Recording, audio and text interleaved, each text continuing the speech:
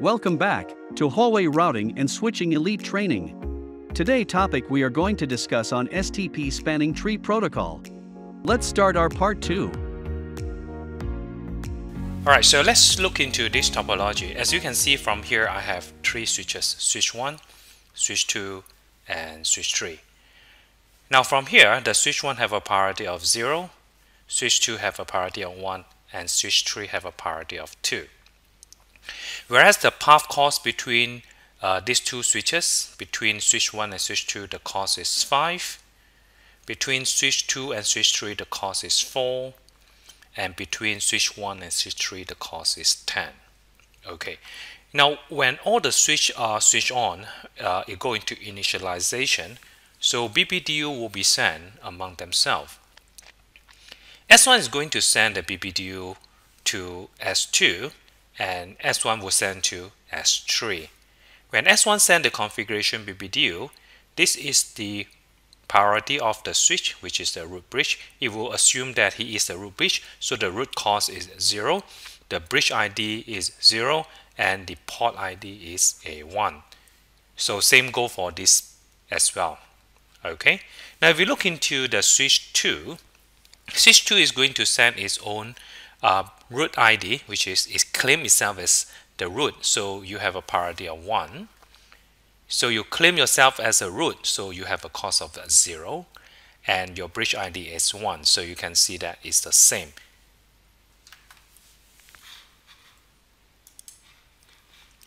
Okay, so once the BPDU has been exchanged and is settled down, you notice that I have the lowest priority number. Lowest priority number means that you have the highest priority. So since you have a highest priority, you can see that the S1 BPDU is uh, overriding the port B1. So port B1 now having a configuration BPDU of 000. So same thing go for the port C1 as well. Now just now on the switch 2, as you can see that my root priority is 1, I still having a root cost as 0 and the uh, bridge ID as 1. So here we also have the same on the switch C3. All right, so on the next exchange, you will notice that you notice that here, just now it was 1, is changed to 0. Okay, so because here I have the BPDU and here I have a BPDU. So this BPDU, the priority of 0, whereas just now this was 1, and now it's being replaced by 0. If you still remember that the cost over here is 5, so the root bridge, the cost is of is 0. So for your outbound interface toward to the root, so the cost is 5. And this is your bridge uh, ID, all right, the bridge priority, which is 1, okay? And you have a B2. So same thing over here, you have a uh, early on you have a priority of 2 so it's being replaced by 0 which is the root priority. And this is a 10 now the 10 over here is because that you are actually sending to uh, S1 sent to S3 and the cost over here is equal 10 so that is where you have the 10 here. And the priority of a 2 is your bridge priority. So now we have our root bridge. All right and this two is a non-root bridge. Now once you examine that uh, we already have the root bridge.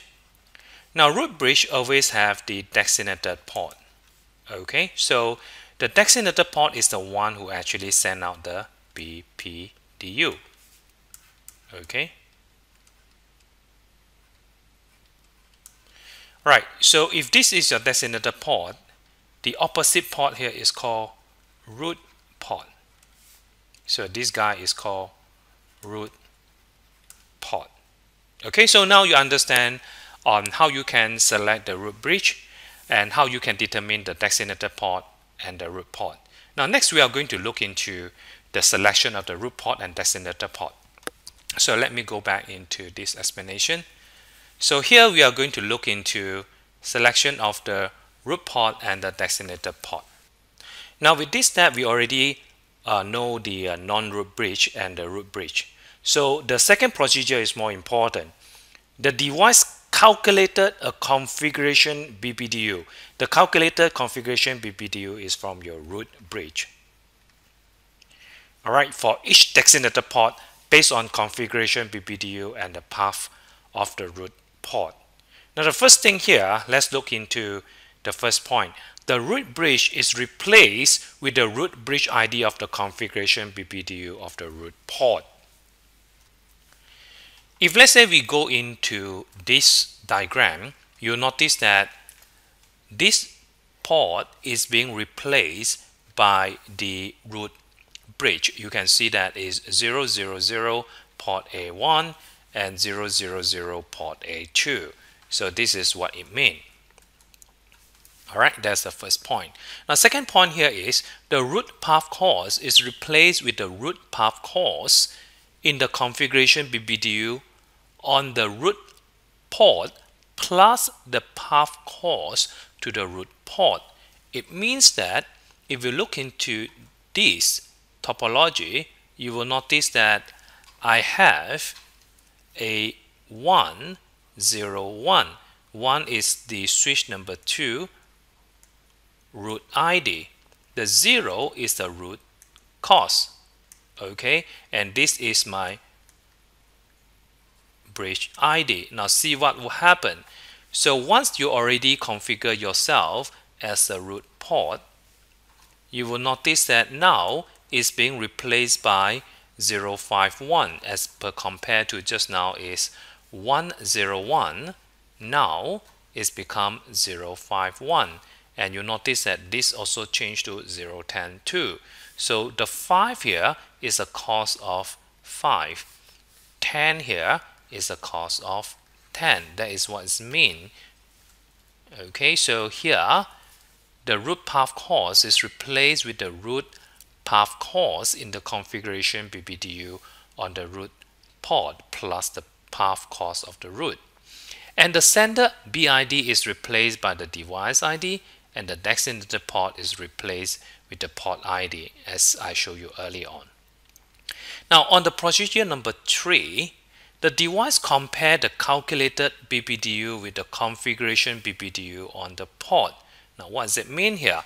On this procedure, if I go back, you notice that once I agree that this is my designated port and the root port on both sides, you notice that between switch 2 port B2 and switch 3 port C2 you have two of these as a designated port and we know that designated port will be forwarding so we will have a loop now here we don't have a loop because that the second exchange of the uh, BPDU happen so as you can see that now switch 2 is sending this configuration BPDU towards switch 3 and switch 3 is sending this BPDU towards switch 2.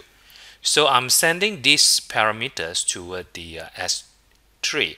Now when S3 receive and do a comparison, the configuration BPDU is 0102 and I receive a calculated BPDU is 051. What really happened here is since the root ID is the same, so there is a tie the next thing they are looking into is the root path cost. The root path cost of 5 is lower compared to 10. So what really happened over here is now from the uh, 10 is you can see that just now is 0, 10, 2 now is being replaced by 0, 5, 1. So here I will already have a designated port and here I have a root port. So this is what it means. So if the calculated configuration BPDU has a higher priority, which in this case is the switch 2, the port is selected as the designated port and the BPDU is replaced with the calculated configuration BPDU. And this port will periodically send the calculated BPDU. Alright, so and the last one here on this point here, if the configuration BPDU, this time is configuration BPDU of the port, has a higher priority, the configuration BPDU on the port is not updated and the port is blocked. And when the port is blocked, you can only receive the configuration BPDU but do not forward the data or send configuration BPDU. Now, if we go back to this diagram, you were able to notice that once I agree that this is my root port here, so I need to remember this port early on is still a root port. Okay, this is a designated port, designated port. But once I agree that this is more superior, all right, because if you look into the cost here, this is the cost of 5 and this is the cost of 4, this is the cost of 10. So 5 plus 4, 9. And here I have 10 plus 4 equal to 14. So I will not use this path. So this path is more superior. So hence, what will happen here is that this port will be blocked. Now when this port is blocked because that the cost is higher compared to here, but the priority on C1 is still superior compared to uh, this port. So what really happened over here is you can see that they will retain the 0, 9, and 2 that's from C1. So here, this part will be blocked. Alright, so now you already see how the uh, calculation of STP. So all in all, please remember that first look into the root port, then next between the non-root bridge, okay, root bridge, non-root bridge, they are going to look into uh, the cost. So if this cost is actually lower compared to here, so this port will become the root port and this one will become the alternate port. Okay, now we have another scenario, a scenario where we have the equal cost path. In this diagram, you can see that I have two switches. Switch 1 have a bridge ID of 0 and switch 2 have a bridge ID of 4096. So clearly, this is a lower priority, so the lower number means high priority. So the port over here will be in forwarding. So we will have a designated port, designated port. So if let's say both the cost is the same, then we will have a tie. So if there is a cost that is having a tie, the next thing we are going to look into is a port ID. So port 0 and port 1, port 0 is a lower port number compared to port 1, so port 1 will be in the alternate port. Alright, now same thing go for uh, another topology. In this topology, you notice that I'm actually connecting through one single uh, connection and maybe here I have a hub.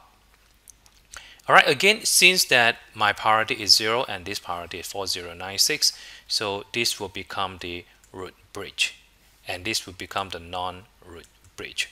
And the cost is also the same, so again, we are going to just do a comparison based on the port ID the port ID number lower will be preferred. So in this case, we have the E0 as the root port.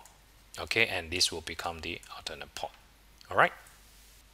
Now let's look into these two topology. So in this topology, uh, very clearly that the, this bridge ID is 0, 4096 and 8192.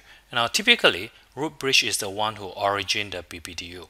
So the BPDU is being sent from the root bridge toward to the non-root bridge. So here I have a designated port. So designated port will forward the BPDU. Okay. Now if you compare to the one on the right hand side here, we still have the same topology except that now I have added the S4. Now S4 have a bridge ID of 32768. Now under these circumstances, please remember that here I have a designated port. Now a designated port on a non-root bridge, which is this guy is non-root bridge, will sent an optimum BPDU only after receiving BPDU with a lower priority. Now what I mean over here is the S4 is lower priority compared to both of this. So it actually send this BPDU toward to S2 and S3. Now S3 is an alternate port. But in S2, here we have a root port and this is my designated port. Now under these circumstances where S4 have a lower priority compared to S2, S2 is a designated port. S2 will send BPDU to the lower priority switch. So this is the behavior when you have a designated port on a non-root bridge will send optimum BPDU, only receive a BPDU with a lower priority. Alright, so uh, this is something that you have to be aware of. Now under the normal circumstances, even we run STP, we still have a temporary loop. Now let's look into this example. On this topology on the left, I have three switches, but I do not have a, any redundant link. So even I do not have a redundant link, my STP is running, I still have a designated port and the root port over here. Okay, so this is my designated port and I have a root port. Because here, I do not have any redundant link. Okay, now assuming that now I add a new link, now things will be different. Now once you add the new link, the STP will kick in, but the STP kick in is not instantaneous. Alright, so it, it means that it will not immediately that it will able to know that this port have to be forward or this port have to be blocked. Alright, so they need to go through the calculation. So in this brief period of time, there will be a temporary loop and this is quite normal. So that leads us to the next topic here, which is the device port status.